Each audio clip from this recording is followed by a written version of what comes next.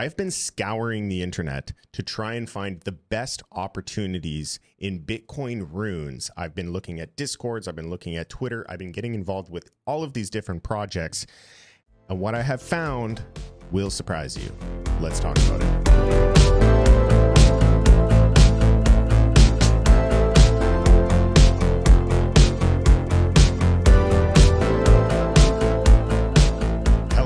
Black Box Trading. I'm your host, JT, and here on the channel, we focus on Bitcoin fundamental and technical analysis. We also have a free Bitcoin trading Discord server. So if you are interested, scan the QR code that's popping up on the screen right now, or you can follow the links down below.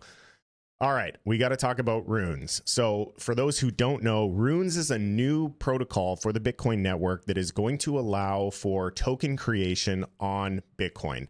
We have already seen certain iterations of this with the BRC20 tokens. We've seen stamps. There actually has been numerous attempts to solve this problem, but they have their limitations and they have their drawbacks, and Runes plans to fix all of those limitations. So, unsurprisingly, the market is extremely excited and hyped for Rune tokens to go live on block 840,000, which is the Bitcoin halving.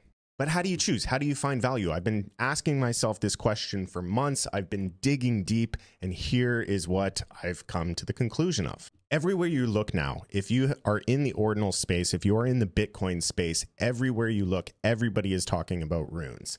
We have large uh, NFT influencers like Beeple that just dropped one of his dailies talking about a new landscape for the runes protocol.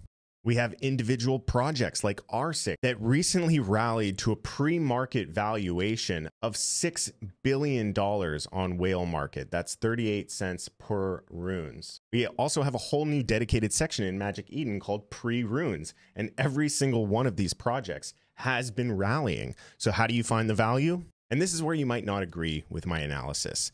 My analysis has led me to believe that runes are overhyped. I feel as though they are overhyped, and as a result, pretty much everything that carries the rune's name is overvalued. With all of this pent up energy going towards runes and the excitement and anticipation of the Bitcoin halving to allow this protocol to go live, to me, it's not surprising that we're seeing these valuations get so out of hand and over the top. Here's a tweet by Leonidas that I actually really agree with. He is predicting that we're going to see 5,000 sats per VByte uh, minimum to get into block 840,000. Uh, to put that into perspective, currently the mempool is sitting at 51 for a high priority transaction.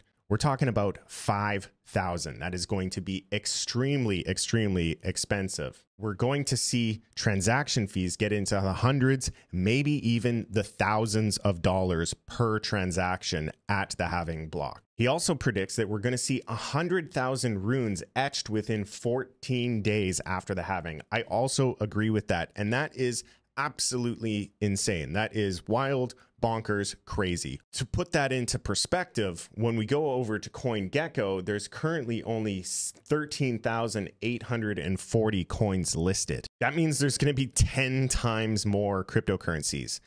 This is not good. This is not healthy. This is not sustainable. He also predicts that a dog meme coin will hit a $2 billion market cap 30 days after. I think it might even happen sooner than that. And the problem with that is when you get these projects that have huge valuations, you get a lot of whales selling into the hype. Now, I know what you're thinking. If everybody's so excited about runes, why on earth would the prices drop? If everybody's excited and they want to buy things, how could that result in a price drop?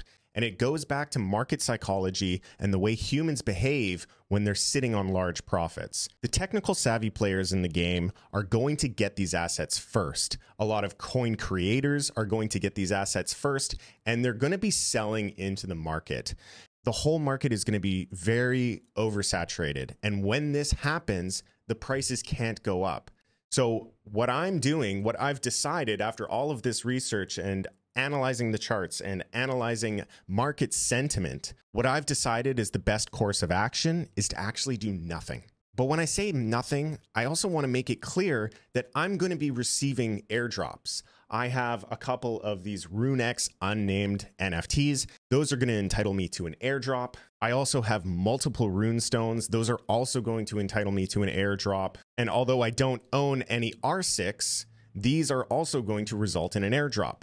So nothing on the channel here should be considered financial advice and and you got to do your own research and you got to make your own decisions. But for me i've seen this type of sentiment play out time and time again. I've been involved in the space for for over 8 years and i can tell you that based off of historical events that i have seen i expect that the rune expectation is not going to match the reality and because humans are inherently impatient creatures and are also very scared when it comes to drawdowns in price, I expect there to be a lot of volatility and probably to the downside when runes do go live. I would happily be wrong on this uh, assessment, but I think in the short term, in the first month of runes, you got to be very, very careful as to what you choose and what you invest in. Now, I also want to clear the air a little bit, okay? I want to make my stance entirely clear.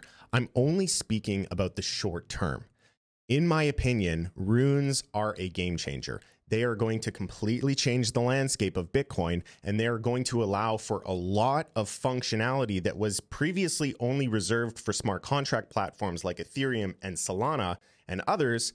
Um, and it's going to bring that functionality to Bitcoin. So don't get me wrong. These are huge. They're massive, hence why the market is so excited about it. I just wanted to put this video out just as a warning to proceed with caution and make sure that everything you're doing is calculated, you are calculating your risk. You are taking into consideration the downside. And if you do those things, you will thrive in the coming months. Let me know if you agree in the comment section down below. And also, please comment below which projects you think are outliers in this sea of 100,000 different coins that are going to be launched on block 840,000. Anyways, that's all the time I have for today. I just wanted to do a quick video just to express my feelings. Uh, if you want to stay up to date with what I'm doing in the ordinal space, which projects I'm investing in, and how I'm handling my trades, then please hop into the Discord. It is free to join, it is free to use, and we are a, a thriving community that's willing to help not only in the ordinal space, not only with runes, but with all things Bitcoin and all things crypto as well. So we hope to see you in the Discord. And until next time, please trade safe. It is a jungle out there. Peace.